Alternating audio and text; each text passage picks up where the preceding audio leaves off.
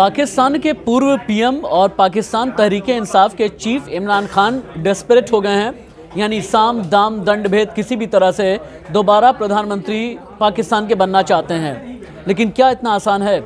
नमस्ते, मैं राशिद। इमरान खान हॉस्पिटल से निकलने के बाद हॉस्पिटल से डिस्चार्ज कर दिए गए पाँच दिन पहले टांगों में दो गोली लगी थी।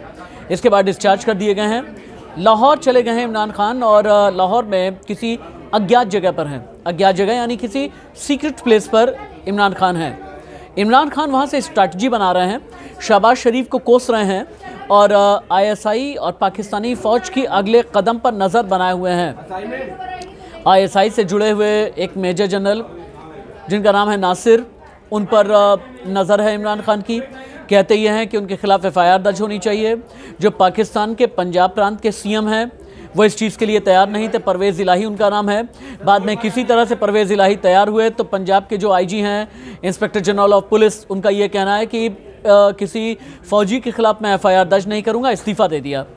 लेकिन अब फैसलाबाद लाहौर कराची इस्लामाबाद बलूचिस्तान खैबर पख्तूनख्वा सिंध पंजाब हर जगह पर पाकिस्तान तहरीक इंसाफ के जो नेता और कार्यकर्ता हैं सड़क पर उतर आए हैं। इमरान खान ने अब आज़ादी मार्च की ज़िम्मेदारी सौंपी हुई अगले कुछ दिनों तक शाह महमूद कुरैशी के हाथ में। लेकिन इमरान कंफ्यूज है, पीटीआई भी कंफ्यूज है।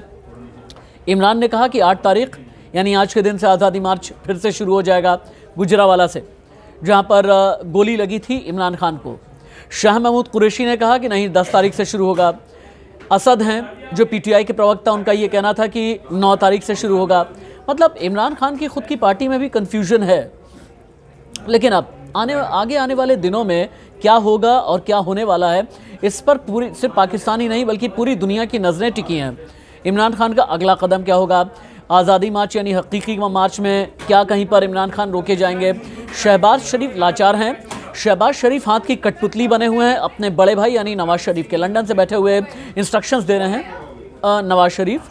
और नवाज़ शरीफ के इंस्ट्रक्शन के हिसाब से ही आगे का काम कर रहे हैं। फ़िलहाल अभी के लिए शहबाज।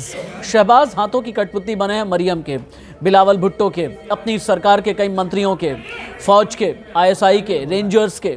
यानी पाकिस्तान में सरकार लाचार है, जमहूरियत बेजार है, और जब जमहूरियत यानी लोकतंत्र लाचार हो जाए तो आप समझ सकते हैं तो ऐसे में पाकिस्तान में रेडिकल्स यानी कट्टरपंथी अपना मुँह उठाने लगते हैं, अपना सिर उठाने लगते हैं और यही एक ख़तरा है जो पाकिस्तान को आज की तारीख में सता रहा है और ये भारत के लिए भी माथे पर शिकन देने वाली बात है। पाकिस्तान से हर एक अपडेट मैं इंडिया न्यूज़ डिजिटल पर आगे आपको पहुँचाता रहूँगा।